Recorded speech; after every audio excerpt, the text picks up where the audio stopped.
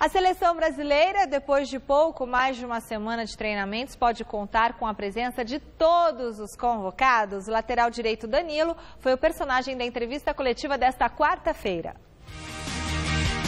Enfim, todos juntos. Depois da merecida folga após a conquista do título da Liga dos Campeões com o Real Madrid, Marcelo e Casemiro desembarcaram no centro de treinamento do Tottenham e se juntaram ao restante do elenco da seleção brasileira. A recepção foi calorosa, inclusive com o técnico Tite, dando as boas-vindas aos últimos atletas que faltavam se apresentar em Londres. À tarde, Marcelo e Casemiro já estavam participando do treinamento com os demais jogadores. Agora, com todos os 23 convocados à disposição, Tite poderá colocar em prática todas as suas ideias e tirar o máximo proveito dos trabalhos em solo inglês. Só que o clima de mistério permanece e o comandante segue sem dar pistas da equipe que começará o amistoso contra a Croácia no próximo domingo em Liverpool. Entrevistado no dia, Danilo falou sobre a convocação para a Copa e a provável chance de ser o titular da lateral direita. A minha volta à seleção foi uma coisa que foi, foi bastante trabalhada e bastante pensada a partir do momento que eu decidi deixar o Real Madrid. É, não foi uma decisão fácil, mas eu estava eu tava muito confiante que, que, eu, que eu mudando de clube e entrando num projeto, num novo projeto, onde onde eu pudesse ter mais tempo de jogo, onde eu pudesse me sentir mais importante, certamente eu poderia voltar para a seleção brasileira. Então a gente, eu apostei junto com a minha família, junto com as pessoas que trabalham comigo, e eu acho que foi, que foi acertado. Eu não tenho que fazer nada diferente daquilo que eu faço no meu clube no, no dia a dia. Certamente foi isso que que levou o Tite a me convocar, levou a comissão técnica a apostar por mim. Então, o que eu busco fazer é, é, trabalhar na intensidade que eu trabalho sempre no meu clube, jogar da maneira que eu jogo sempre no meu clube e tenho certeza que assim é a melhor maneira de poder ajudar e, e, e conquistar o meu espaço aqui dentro. É, seleção se definindo, né, Flávio? Eu acho natural que alguns jogadores ainda sonhem com, com a condição de titular que Essa pode acontecer. A posição está aberta, né? É. A lateral direita está aberta. Era do Daniel Alves, não é. se cogitava nada diferente. Acho que Danilo e Fagner chegam na mesma condição. Na mesma condição, também é. acho. O Fagner está atrás do ponto de vista físico, mas por outro lado o Tite o conhece bem, porque trabalhou e o Tite não gosta, não, né? não é que não gosta, ele acha que o Danilo tem algumas dificuldades táticas. Para ah. entendimento de jogo do Danilo, o Tite considera inferior ao do Fagner. Então, é, eu, por isso que eu acho que se a condição for muito parecida fisicamente, o Fagner joga o Fagner. Joga o Fagner. É. Pelo entendimento tático. O Tite, esse time é um time muito tático, né? O time é. do Brasil é um time eminentemente tático. É claro que ele vai facilitar a vida dos craques, vai jogar com a ponta, o Neymar. Mas, mas atrás é não dá para brincar. Tático, ele não é, é um time individual, não, não, é o individual que vai prevalecer, é o tático, é o, é o todo, é o conjunto, né? É, hoje a gente estava comentando numa reunião e acho que me falaram que o Vampeta disse que o Brasil não passa da primeira fase. Até onde o Brasil chega, Flávio? O Vampeta, ele tá com sacanagem, ah. desculpe a palavra, porque ele é campeão do mundo. Ele é tá. o último campeão do mundo, o grupo do último melhor campeão do mundo. Então, o que está acontecendo? Eles estão, todos os últimos campeões do mundo, 2002, estão recebendo um monte de convites para ganhar uma nota, porque são os últimos, né? Tem um monte de eventos e tal.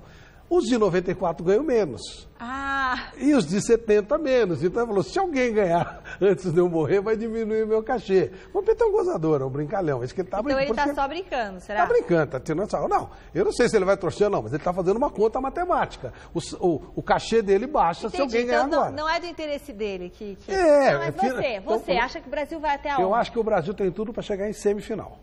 Semifinal? Semifinal. Acho que o Brasil chega. Eu e... acho que não chega dependendo do adversário de quartas, ele pode se enroscar, mas ele passa bem pela primeira fase. Quando eu digo bem, não é goleando, não. Passa tá, bem. Passa. Então. Oitava de final é um jogo muito chato, ou México ou, ou Alemanha. É muito chato, mas acho que deve ser México, o Brasil deve passar. Aí quartas o negócio já começa a ficar mais pesado, pode ser uma Bélgica e tal, aí o negócio engrossa. Mas eu vejo o Brasil em semifinal. Vejo o Brasil em semifinal e aí semifinal é semifinal, e seja o que Deus quiser. Ah, eu não estou tão otimista, não. Eu disse ontem, né, que eu acho que tem muito a ver com o jogo de estreia. Acho que se o Brasil, de repente, tropeçar diante da, da Suíça, ele vai ter problemas sérios para passar de, de primeira fase. Que aí vai entrar contra uma Sérvia com obrigação de vencer, com peso nas costas e tudo mais. E, de repente, se não se classificar em primeiro, nem lembro falar, vai pegar uma Alemanha numas oitavas de final. Se a Alemanha ganhar do México, né? Sim. Mas... Porque o México vai para cima da Alemanha. Esse é o ponto. Jogar com Osório é um pepino. Você pode ganhar de 7 a 0, mas você pode tomar goleada, porque ele vai para cima. É. Se o Osório jogar com a Alemanha, vai ser um jogo sensacional, né? Primeiro jogo do grupo. Ele vai para cima da Alemanha. É que vai acontecer? Toma de 7 a 0, pode. Mas ele pode ganhar da Alemanha também. E o Brasil é a mesma coisa, Brasil e México. Ele vai para cima do. Brasil. Ele vai para cima. Então, México não ganha da Eu tô. então, eu- é, teoricamente não. O que eu quero dizer é que ele vai para cima. Ele vai jogar de igual para igual. Tá. O que é uma virtude e um defeito, dependendo da ótica que você olhe. Já que é pra perder, vamos perder de cabeça Porque é erguida. jogando, jogando futebol legal, que eu defendo. E se ele for jogar contra o Brasil, apesar do enorme respeito que os mexicanos têm pelo Brasil, ele vai atacar o Brasil. Aí é que tá o. Pode ser bom e pode ser ruim, depende. É que estão menosprezando. Não, não, estou dizendo a seleção. Torcedor, tá achando que o jogo com a Suíça vai ser barbada? Não vai. Talvez Não, o seja o barbada. mais difícil jogo da seleção brasileira nessa primeira fase. Porque tem, tem, tem a questão tática da Suíça, a defesa sólida, a- o nervosismo de estreia. Não sei, eu prevejo. Posso estar errado, espero estar errado. Mas eu prevejo muitas dificuldades. Só E- precisa tomar e cuidado estou desconfiado que o Brasil talvez nem vença a Suíça na, na estreia. Olha, só precisa tomar cuidado com uma coisa. Hoje o futebol, voltando à história do tático, ele é eminentemente tático. É isso aí. Quando você tem um sistema de jogo definido, é mais fácil. O Brasil tem dois anos de trabalho só. Não esqueça que o Brasil perdeu os dois primeiros anos com a história do Dunga. Sim. O Tite pegou da estaca zero. O Tite fez um trabalho mais psicológico do que tático. Ele não mexeu muito no time. Ele deu uma ajeitada em algumas peças, mas trabalhou a cabeça dos jogadores e o Brasil foi espetacular. O Brasil não foi testado na adversidade. Isso é, uma realidade. Ele só perdeu um amistoso para a Argentina. Qual será a reação na adversidade? Quando a Espanha perdeu da Suíça na estreia em 2006, ela, 2010. ela tinha um sistema.